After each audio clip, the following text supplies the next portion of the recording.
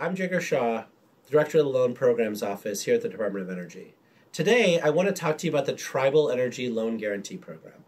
In the Inflation Reduction Act, the program went from $2 billion worth of resources up to $20 billion worth of resources. And there's no innovation required in this program. The goal here is to get tribal ownership of energy projects. So it's not just solar and wind projects, but it's also things like microgrids, virtual power plants, bioenergy projects, and even methane reduction and methane detection and carbon sequestration projects. The Tribal Energy Loan Guarantee Program today waives all the application and maintenance fees. Today, we actually have direct pay for tribes, and so they don't have to go through tax equity structures anymore.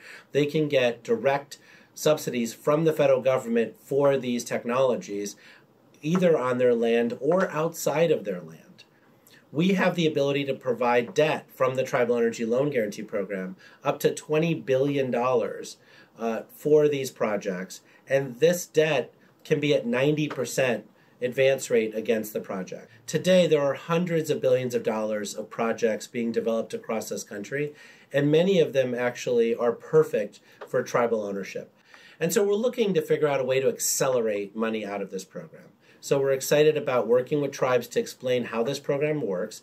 And we're excited about working with private developers to figure out how they can better partner with tribes to figure out a better way of financing their projects.